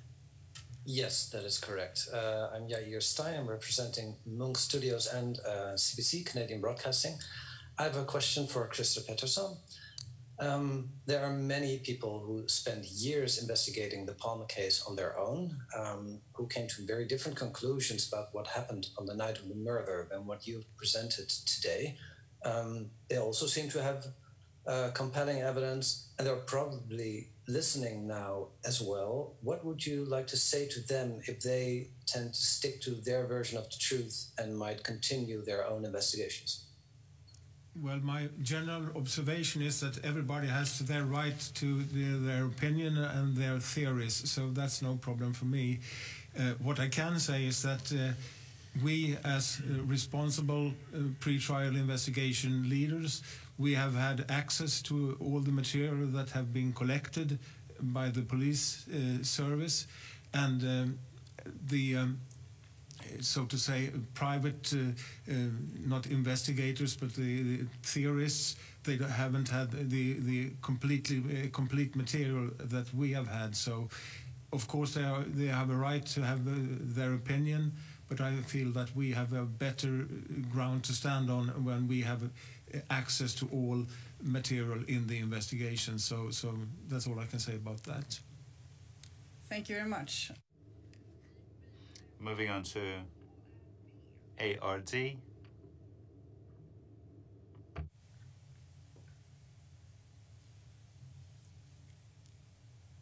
Ska vi se om vi har... Let's see if ARD are with us. Inte så. It doesn't seem to be the case. Moving further down the list, so we have AFP with us.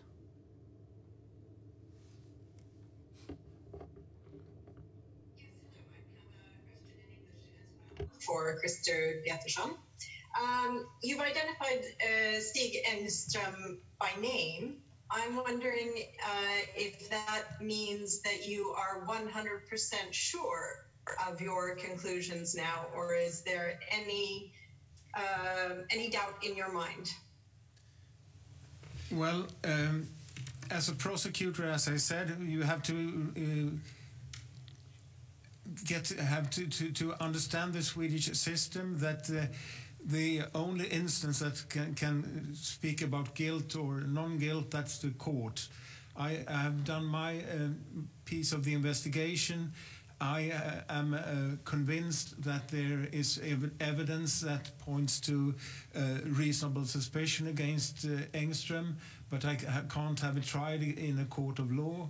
Uh, so, uh, yes, I feel confident about our conclusions, but I will not have the possibility to, to present it to a court and have them have them really examine the ex evidence uh, all the way, but I feel confident about the um, findings that we have made. Thank you very much. Uh, RTL, is RTL with us? I believe not, so we'll just continue på svenska. Eh, tror jag alla We'll continue in Swedish Politico. Uh, political. Uh, Harsha? Hey. Hey. Can you hear me? Yes. My question is on if you can say anything about the motive. What could the motive has have been? This is also an issue which is difficult to assess after 34 years. We did a sketch. We described the backgrounds of Stig Engström that there are certain, maybe not traces, but but uh, maybe some explanations of his actions. But this is something we would be able to investigate if uh, would have been arrested. So the, but since he is not available, this will turn to speculations on my side, and this is something I would like to refrain from. We don't have a clear picture at this stage of what uh, what made uh, him snap. Um, thank you. Now it's samtiden.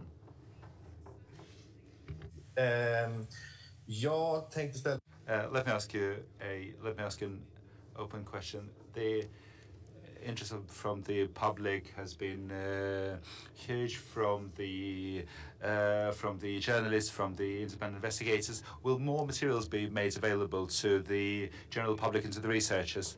Well, what I can say is that during the course of the preliminary investigation, which this actually is and which it was when it was an active investigation, which has been ongoing for 34 years, it's almost a parts of your everyday life. But during the course of the preliminary investigation or pre-trial investigation, I, as a prosecutor, as the head of the investigation, I decide there's something called the confidentiality of the pre-trial investigation, which means that the materials we work on, we will with, we want to work with these materials without disseminating them, without people getting informed about what we're actually doing. Once uh, the investigation has been discontinued, like this is the case here, the confidentiality is taken to another stage, so it's not only the pre-trial investigation which decides the, the what their level of confidentiality will be, but it's the issue of the different individuals who are mentioned by name, by their uh, social security numbers. Uh, this long answer basically means is that we will not have any kind of open door policy with respect to the uh, to the uh, pre-trial investigation, but you can request that certain uh, whether second documents will be released and this issue will be tried and this is based on the confidentiality of the uh, personal integrity and integrity of personal data. Anything add there? No. Thank you. Gunnar Wall, author.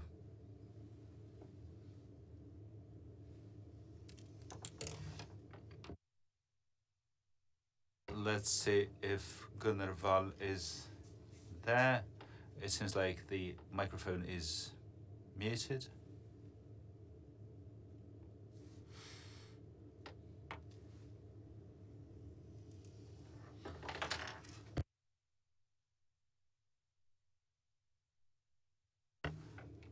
I believe that you have to turn on your microphone. We can't really hear you.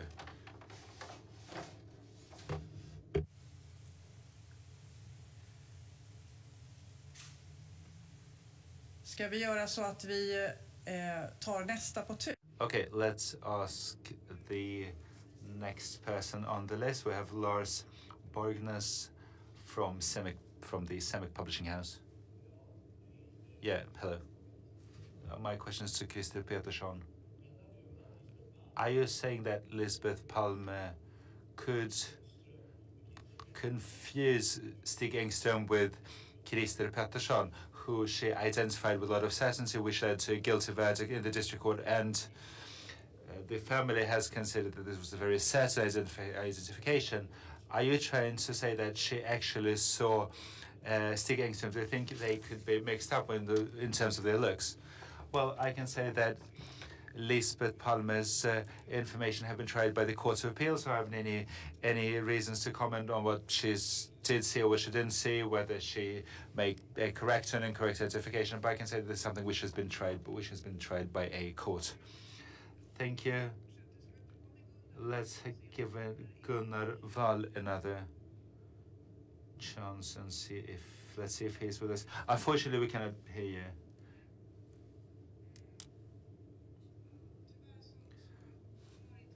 Unfortunately, we cannot hear you. So the last one on the list, and this is ARD, is ARD with us? Can you hear me? Hello?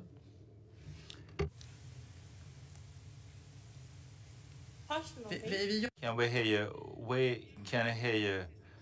So we'll try to make sure that we can also see you, but we can hear you. Hey, hi. Uh, can I ask the question? Yes, go ahead. I want to know, is does this mean that this case is over, or what would it look like in the future? Well, from the point of view of the prosecution and the police, my assessment is I have made a decision to discontinue the investigation, which means that the prosecution will not work actively on the investigation. If new information would appear, new information which would be of such a nature that it would raise interest that we'll have to investigate this information in more detail, then you can there is an opportunity to continue the, to reopen the investigation. But from my point of view, and from the point of view of the uh, prosecution's the prosecution authority, the investigation is closed and I will not take any active measures after this. Okay, let's see if let's give Gunnar a last. Yeah. It sounds like we can hear.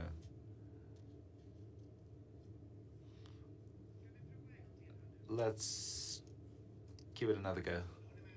Can you hear me now? Yes, yes we can. Great let me ask the queer the question. And the question is about if I understand understood you correctly, you have been uh, examining all those issues for three years. You didn't find any new evidence, and what you have found would not be sufficient to prosecute, but you still want to discontinue uh, the whole case, although the case doesn't fall under the statute of limitations. Uh, my the question was whether this would lead to a prosecution to a guilty verdict, and as far as I can see, if we would have been able to use coercive measures, and for example, detain Stig Engström and uh, investigate, because normally you don't in, uh, prosecute someone right after the arrest, but you take different investigative measures, and it wouldn't be improbable to believe. It's not, not we're not the only people who have been working with this for three the last three years. People have been working on this issue before that, and uh, Stig Engström what I was just against him appears to be a suspected perpetrator. No matter how much time we spend on this, the question is how do we fit Stig Engström's uh, information into this jigsaw puzzles? And our conclusion is that he played a central part in the incident. Thank you. Anyone else left? Last uh, one which uh, disconnected earlier, and I believe it's Munk. Is Munk or Monk with us? Here we go.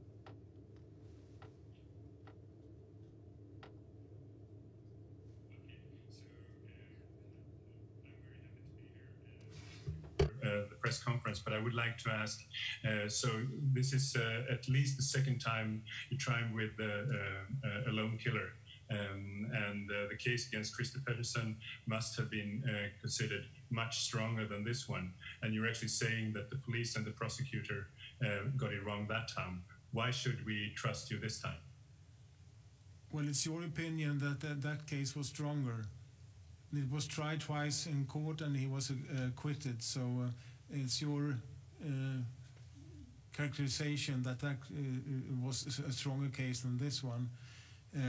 as we have tried to explain during these hours in this morning, our findings about this, and it's been enough to convince us to present this case, and we hope that this will will will be accepted by the uh, public as well, but um, we can't uh, stop anyone from having opinions about what we have found.